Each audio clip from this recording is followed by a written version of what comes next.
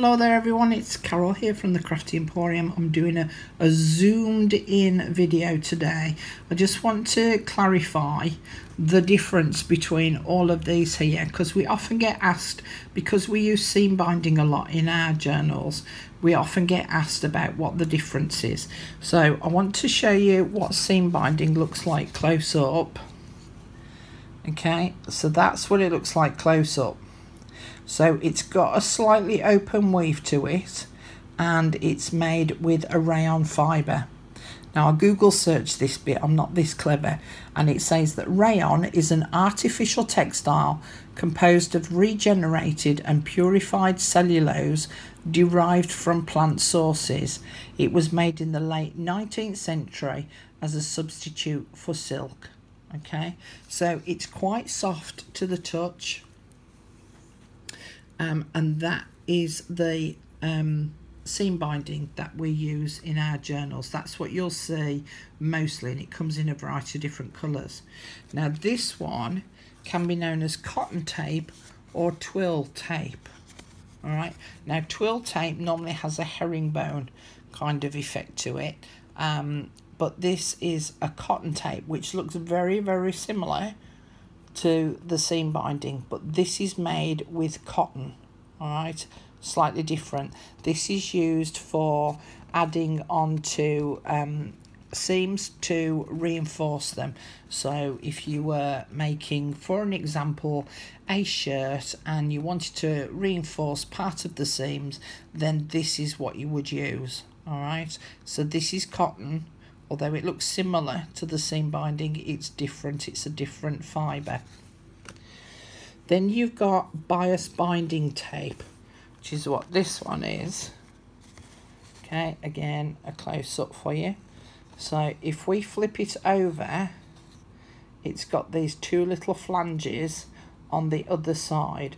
Now this is used when you're piping a cushion for instance um, or you're curling it around so let's curl it around the edge of this piece of card here. So that you've got some on the front and some on the back.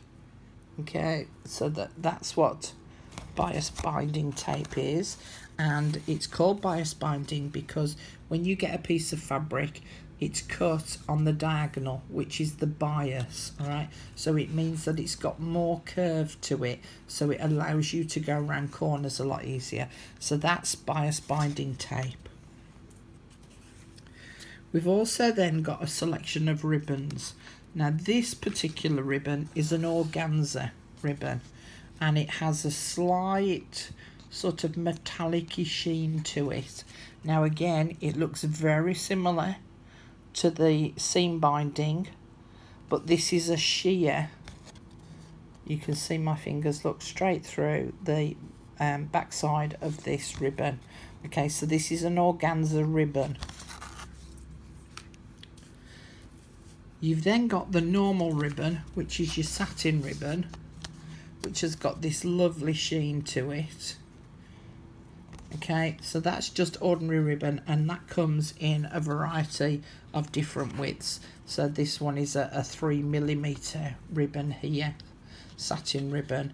Um, and again you can use those for making bows and things. There's no reason why you can't use these any of these for your journals.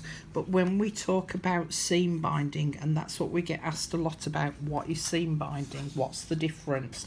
What's the difference between this and a cotton tape? Well, this is made with rayon threads okay which is a man-made thread.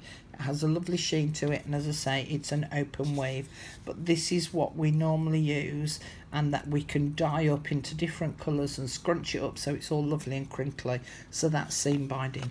So it was just a quickie video today to just show you the difference between all of these. So hopefully that has answered some questions for you. Um, and it's this one that we use rayon seam binding. Okay thanks for watching. See you again soon. Bye